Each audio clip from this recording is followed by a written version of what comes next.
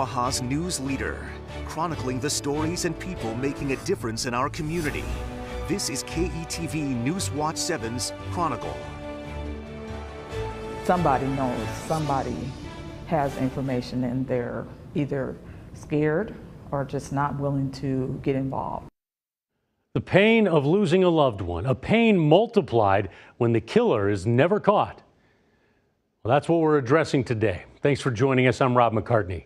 September is Cold Case Awareness Month, and today on Chronicle, we're taking a look at some of the 360 cold cases currently open in Omaha.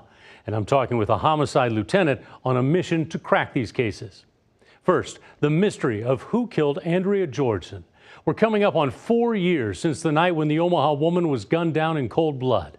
I first showed you Andrea and surveillance images of the man suspected of killing her when the Crime Stoppers reward for information about him was raised to $25,000. Her family and the lead detective hopeful that that cash is enough to get someone to come forward. She's fabulous. she has a big heart and Aaliyah Rogers is talking about her big sister, Andrea Georgeson, loved everyone and was accepting of everyone. a woman who loved her family, She loved music and reading. a woman who loved life. But her life ended tragically and violently.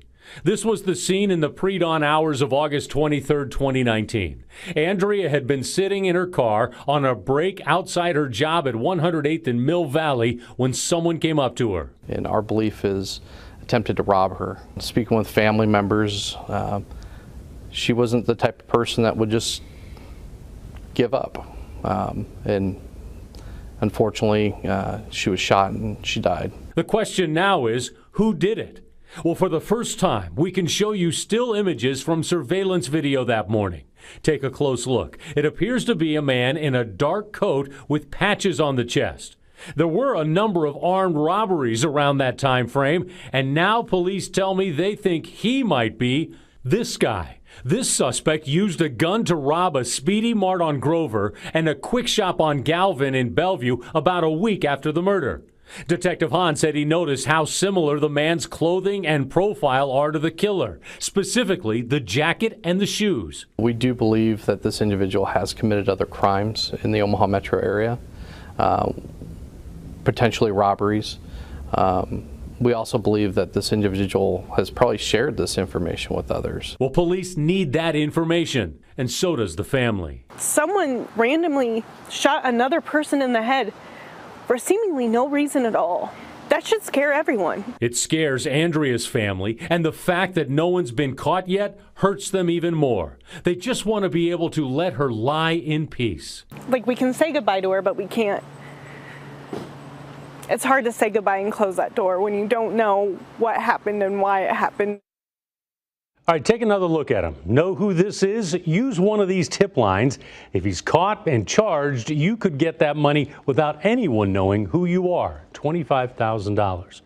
Well, cold cases like those really take a toll, obviously, on families, but they can also take a toll on the officers who are investigating them. Joining us now is Lieutenant Nick Andrews from the Omaha Police Department. And Nick, thanks for being here today.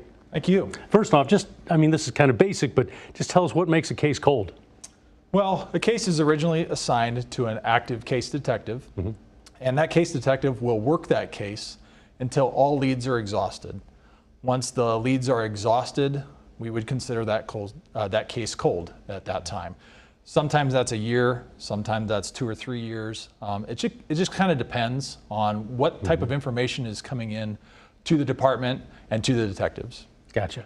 And what kind of cases can go cold? Are, are you talking just murders, or can any case technically go cold? Well, pr- obviously, we work with homicides Right. uh, in my unit, and homicides are generally what the cold case unit works on, yes. Um, there are other cases, um, sexual assault cases, that detectives in the uh, special victims unit work for uh, you know long periods of time, but yes, the, the cold case unit uh, looks at homicide cases. And how many uh, detectives are on these cases? Currently, we have two full-time detectives. There's one sergeant and one uh, officer, and then we have also brought in, uh, with a uh, cold case grant we're working on, two part-time detectives. Is that enough? It's not. Uh, we'd like to have, uh, you know, more detectives, but uh, we do a good job with what we have. Right. I mean, I've been over there in the area. It, it's packed with, with papers and information. It just seems like you guys are always working on the case. Yeah, right now we have over 350 cold cases uh, in the unit, um, and detectives shuffle through those those cases. Uh, they'll take a take a book down, look at a case that hasn't been looked at in a while, uh, review that. Both both uh, sergeant and detective will kind of do peer reviews and have one of them look at it, uh, and and if they're not seeing anything or nothing's nothing's sticking out, nothing's new, they'll put that aside and pick up another one. Um, and, and some cases have more information than others. That's unfortunately the, the nature of the, of the uh, investigation. Sometimes, sometimes you uh, have people getting fresh eyes on it, right? I mean, a different look at it. It's not the same person looking at the same information all the time. Absolutely. That's, uh, that's key to some of the Right. cases. Um, walk me through a typical investigation, if you could. I mean, so uh, a murder happens, and time goes by. What what do you do? So the, the detectives, again, uh, we'll look at all that evidence. We'll send evidence off for testing, uh, whether that's you know physical evidence, digital evidence, um, and interviews of witnesses, potential suspects, loved ones. And uh, after that's done, if, if nothing is moved on the case, like I said, after a certain amount of time and detectives feel that we're not getting anywhere on this, then we'll put it over to cold case. And those cold case, uh, the sergeant and officer will look at that. And again, they'll look at it from different angles and see if something was missed along the line. Maybe there was more, an, an interview that, that needed some more questions because we learned something down the line. So. But, but you're in touch with the families, though, right? I mean, is, do they play a part in the investigation at all? Absolutely. Uh, so, unfortunately, that when a homicide does occur, it's one of the first things that detectives and sergeants are tasked to do with. That's go make contact with the next of kin, uh, loved ones, family members, and from that day on, we are in contact with those family members. We're we're updating them with the information that we can. Um, if arrests are made, they're the first person we contact is the is the family members and next of kin of the deceased. How hard is it dealing with them? Because they want answers. They want answers right away. I mean, they want this no, to never have happened. But since this has happened, they want answers right away. They want you to give them answers. Absolutely. Yeah, yeah, it's difficult. Um, you know, the detectives are do a great job of that. They understand, um, and they are they're having to deal with people who are at their lowest point in life. So uh, they're skilled. They're they're very good at what they do, and um, they don't get enough praise for for what they do. Right? I mean, it, it's got to take a toll on them, right? Yes, absolutely. So, how can the public help you clear these cases? Uh, one of the main things is Crime Stoppers. You know, if they don't want to come forward uh, publicly uh, because of fear of whatever, they can anonymously report that on Crime Stoppers.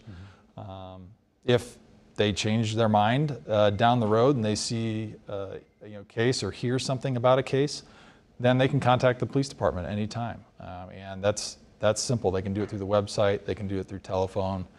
And detectives are always there to answer that phone and reach out and obtain their information. Think you'll ever clear them all? That's the, the impossible task, right? It is the impossible task. We'd love to. We'd love to clear all the cases. Great. Nick, appreciate you coming in today. Thanks. Thank you. And a little bit more on that cold case grant that Nick mentioned. It's $500,000, and the Omaha City Council unanimously approved the federal funding back in May. The grant allows UNMC to test DNA samples using new technology like genetic mapping. We have over 200 unknown profiles that are over at the DNA lab that this money will help us and allow us to do retesting so that we're able to um, hopefully get a full profile and we're able to identify suspects. Yeah, Sergeant Spencer saying besides the two additional part-time detectives, the grant also pays for a prosecutor when they crack a case. The grant runs through 2025. All right, still to come here on KETV News Watch 7's Chronicle, helping grieving families, plus details on more cold cases, including the execution-style murders of Jamila Hesseltine and Carl Reed nearly 12 years ago, and the journey that led their family members to help establish Cold Case Awareness Month.